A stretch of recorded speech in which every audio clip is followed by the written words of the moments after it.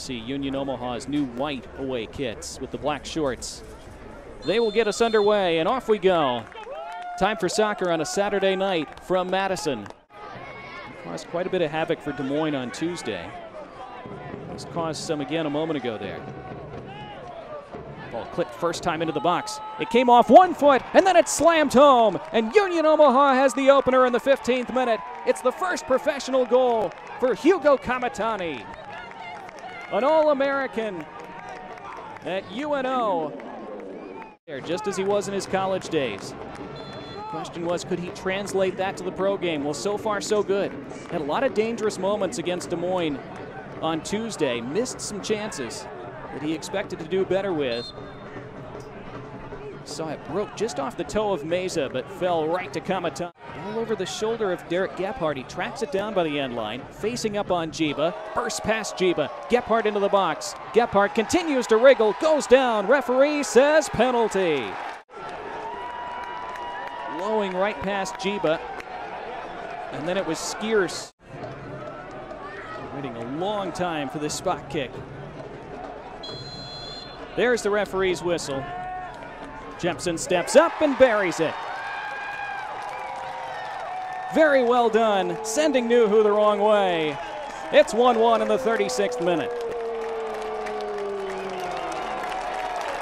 Scored in the 36th minutes on the penalty kick by number 29, Ollie Jepson. See Nuhu pointing to his right, daring Jepson to put it that way. Akoff maybe wanted to hit that first time. It wouldn't sit down for him.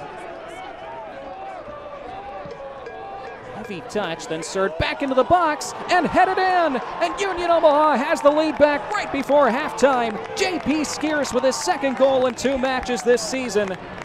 And Phil Breno came for it, had to get there, did not. It's a big mistake by the goalkeeper. It's a big goal for the Owls just before the half. What a good service this was by Connor Doyle. I thought that first touch was a little heavy, but it ended up setting him up perfect. Nuhu's punt forward. Flipped along by Meza.